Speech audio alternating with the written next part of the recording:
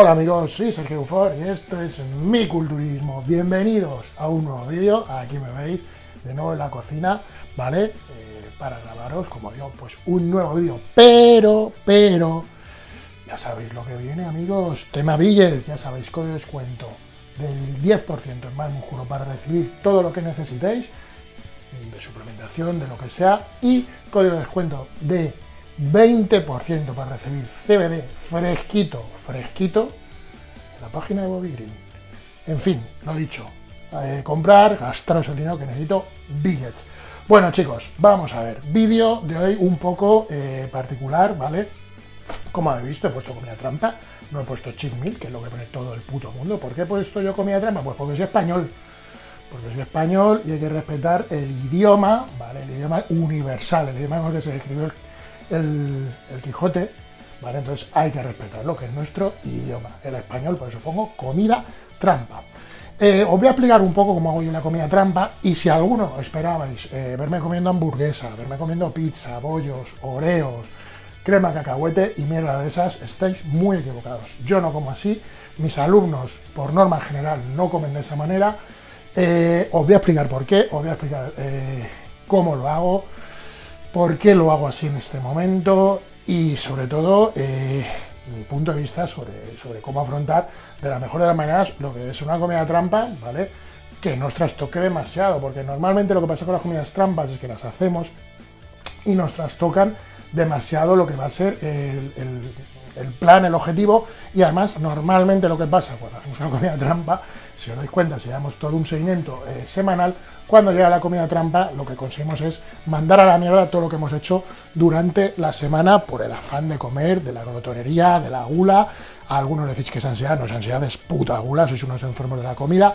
Es muy importante además que aprendáis a relacionaros eh, con la comida de una forma sana, ¿vale? Porque es algo eh, que normalmente detrás de esta forma de comer em, compulsivamente, de esos atracones, de ese estar retenido toda la semana, puede haber, eh, bien, por un lado, una mala planificación de la dieta, si coméis bien, si coméis como veis, es difícil eh, que tengáis esa ansiedad, probablemente es que estéis comiendo muy poco, o por la manera que os relacionéis con la comida, sí que a veces eh, os pasa que, bueno, pues que se encierra cierto trastorno de tipo alimenticio, ¿vale? Así que mucho cuidado con esto, que a veces una comida trampa nos puede dar muchas señales de, de lo que está pasando alrededor de nosotros. Eh, ¿Por qué hago yo la comida trampa de esta manera? Porque busco siempre buscar eh, alimentos eh, lo más nutritivos que me pueden aportar y demás. Y lo hago así tanto fuera de temporada, no penséis que lo estoy haciendo ahora porque esté a, mm, algo menos de seis semanas de competir. Yo normalmente lo hago así todo el año, algún capricho me puedo dar, pero mi capricho a lo mejor es un donut o algo así, no más que eso. ¿Y por qué lo hago de esta manera? Bien, en primer momento, en primero es por lo que he dicho, porque a veces una sola comida os puede trastocar todo un planning semanal, ¿vale? Eh, yo, tal y como lo veo, o como mucha gente me viene, van ordenados toda la semana, se meten una, un tracón de lo que sea y de repente el peso se dispara esa semana. Con lo cual, al final has estado trabajando toda la semana no para mejorar, sino para poderte saltar la dieta, lo cual es un error. ¿Por qué, como digo, eh, además elijo alimentos, eh, como digo, que me pueden aportar? Pues por una razón, una razón muy simple. Si tú estás toda la semana comiendo alimentos muy limpios, si estás comiendo tu pollo, tu arroz, tu pescado, tu carne, tus ensaladas, en fin, todos sabemos que son alimentos limpios, y llega eh, el día en el que te tienes el salto de dieta y te comes una pizza, un litro de helado, 25 concretas, eh, estás atacando al cuerpo, ¿vale? Eso es una agresión, el cuerpo lo va a percibir como una agresión. Estás castigando al cuerpo. ¿Y qué pasa? Que toda la semana estamos castigando al cuerpo, ¿vale? Todos los fines de semana estamos castigando al cuerpo y luego esperamos que el cuerpo vaya a estar a tono cuando nosotros queramos el día de la competición o para irnos al veranito de puta madre cuando nosotros nos hemos estado dedicando a atormentar al cuerpo en cierta medida, ¿vale? ¿Por qué? Porque además van a generar problemas digestivos, o va a generar cierto malestar eh, y, desde luego no es, no es nada, nada saludable que hagáis eso cuando venís de estar en una dieta muy retenida. Otro aspecto importante, bien, a mí por ejemplo mi entrenador me tiene pautado un salto de dieta. Pero ¿qué pasa? También hay que entender un poco eh, la mentalidad de cada uno, del deportista, ¿vale? Eh, en mi caso, la condición que tengo me permitiría comer cualquier guarrada y no trastocarme demasiado, ¿vale? Estoy ya eh, bastante acondicionado, tengo la piel fina, realmente ya no tengo apenas grasa, una comida es cierto que mi físico no lo iba a deparatar. Pero ¿qué hay? ¿Qué hay de la cabeza? Si yo me salto la dieta, ya esta noche, eh, bueno, aparte que voy a dormir mal por dormir, súper lleno de comida, mi cabeza va a estar funcionando, joder, no lo tenía que haber hecho, igual mañana no voy a estar bien, eh, esto es una mierda, porque lo has hecho, porque lo has hecho. Y la psicología de un deportista es súper importante de gestionar. La cabeza de un deportista es su motor. Al final, cuando ya el cansancio físico es muy grande, lo único que te queda es el motor y ese motor va a ser la cabeza.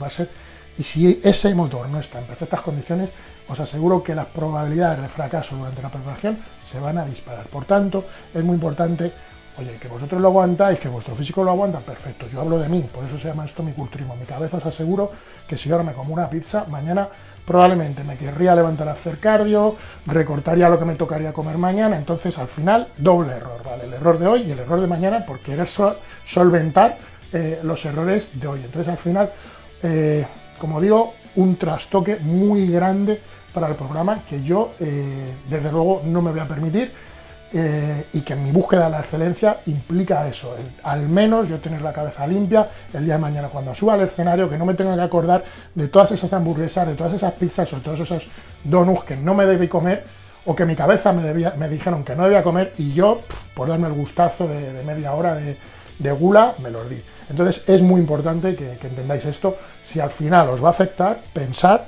que desde luego no va a hacer ningún bien, más allá de la satisfacción de esos 30 minutos de atracón, que a mí desde luego, por mi forma de entender el culturismo, no me compensan.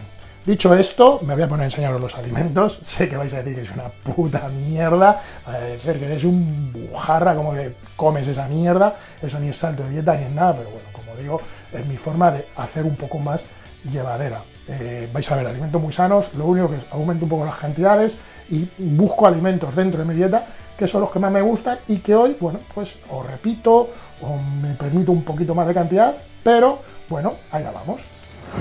Bueno, pues os voy a enseñar mi comida, ¿vale? Que ya estaría hecha, lista y preparada. Y como os he dicho antes, sí que eh, alguno os va a sorprender. Eh, voy a tirar esto un momentito. Sí que alguno va a sorprender. Eh, alguno me dice, joder, esto no tiene salto de dieta ni en nada. ¿Vale? Bueno, aquí no sé si se va a poder apreciar, no sé, a ver. Bueno, aquí lo veis a ver, efectivamente. Vais a ver por un lado, veis arroz, 120 de arroz, eh, dos huevos, ¿vale? Aguacate y un poquito de verdura, calabacín, ¿vale? Eh, todo es de dieta, excepto el aguacate, pero bueno, eh, que no me gusta, ¿vale? Pero algunas veces cuando estamos a dieta de repente nos apetecen cosas que no comemos en todo el año y en este caso ha sido el aguacate. Como veis, la fuente de proteína que pongo es la lubina. Ya os dije el otro día que la lubina es mi fuente de proteína favorita. Y eh, algunos me escribisteis diciendo, pero joder, Sergio, tío, que la lubina no es un pescado azul, es un pescado blanco, porque dije que la dieta tenía pescado azul y metía lubina. Efectivamente, la lubina es un pescado blanco, pero eh, cuando los preparadores hablamos de, pescado blanco, siempre hablamos pues, de merluza, de pescadilla, incluso lenguado, ¿vale? Que son pescados que no tienen nada de grasa, ¿vale?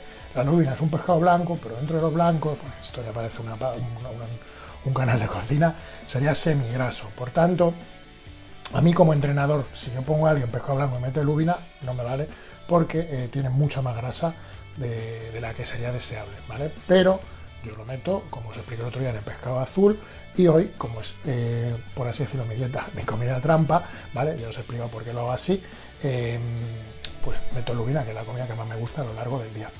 Eh, cosas importantes. Eh, ¿Por qué meto la, hoy? ¿Por qué como así? Bueno, pues bajo mi punto de vista, lo interesante de una comida trampa es hacer el día que más, que más gastos se tiene. Yo vengo a hacer un entrenamiento de pierna brutal con, Jimmy, ¿vale? Y, con José. Y el entrenamiento ha sido exagerado y me parece que es el día adecuado para meter la comida trampa. Concretamente es la última comida del día. Ya como y me a la cama, con lo cual vas a dormir más tranquilo, con más calorías de las habituales, y eso te va a hacer que eh, tengas un sueño más reparador. A no ser que seáis de los que no pueden dormir con el estómago eh, lleno, que yo soy todo lo contrario, yo tengo que dormir con el estómago absolutamente lleno. ¿Qué pasa? Que normalmente eh, la soléis hacer, y es lógico, tendemos a hacer la dieta trampa para socializar. La hacemos los fines de semana, un día que no entrenamos, que menos gasto, que además muchas veces los entrenadores pautamos que el día que no se entrena haya menos comida, y pum, metéis la comida trampa y entonces esa comida trampa, ese día bajo, lo estáis haciendo un, lo estáis haciendo un día alto, con lo cual es un poco lo que explicaba al principio del vídeo. Estáis desvirtuando eh, todo lo que es el programa. Entonces, bajo mi punto de vista, lo más inteligente es siempre meter esa comida un poco más rica en proteínas, un poco, un poco más eh, alta en calorías y demás y en carbohidratos, eh, lo suyo meterla el día que, tenéis el entrenamiento más demandante. En mi caso es el día de pierna, es también una táctica que yo hago eh, cuando se trabaja un músculo que falla, sería incluir una, dieta, una comida más rica en calorías y yo creo que es un resultado interesante. Esta sería mi comida trampa, ¿vale? Es mía, es mi forma de trabajar, es mi forma de hacerlo. Entiendo que otros tengáis otro método, pero este es este es el mío. Hay otra cosa que no, que, no, que no sale aquí, que ahora también comeré, que es un poquito de piña como postre. Piña también es algo que como a diario, es un poco lo que os he explicado antes, es algo que como a diario, por tanto me lo puedo permitir, la como una vez al día, que se me pose entreno, ya lo comido antes y ahora lo voy a volver a comer. Entonces sería doble ración de piña, pero seguimos centrándonos, como os he dicho, en alimentos que puedo permitirme, que puedo comer y que sobre todo, que para mí lo más importante, van a hacer que mi cabeza no esté cuestionando si hice bien o hice mal. Simplemente comí un pequeño extra pautado por mi entrenador y que dentro de esa pauta yo sé que a mí además me va a hacer, eh, me va a hacer bien, ¿vale? Por las semanas que quedan necesito también ir metiendo un poco de comida para no quedarme demasiado escurrido al final y ya demasiado cansado, ya que la temporada es muy larga. Bueno, pues chicos, me pongo a disfrutar mi platillo o platazo, según se mire. Tengo una buena faena, luego me acostaré tranquilito y mañana me voy al zoo con la familia, ¿vale? Espero que me dejen salir, que no me encierren. Vaya mierda, chiste. Pero lo dicho, chicos, espero que os haya gustado el vídeo, que entendáis un poco mi filosofía, que algunos la apliquéis o que otros directamente la cuestión y digáis esto es una puta mierda, estáis en vuestro pleno derecho. Sabéis que este canal es un canal abierto porque este canal al fin y al cabo es nuestro culturismo. Hasta la vista, amigos.